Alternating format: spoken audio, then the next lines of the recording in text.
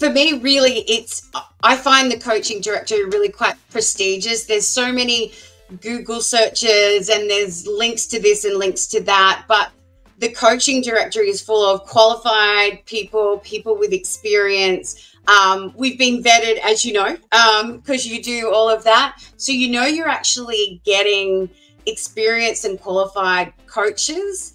And to be standing um, or online with some of the other coaches in this field. I mean, it's I find it really prestigious, and I'm really proud um, that I've been accepted, and my business is part of the coaching directory.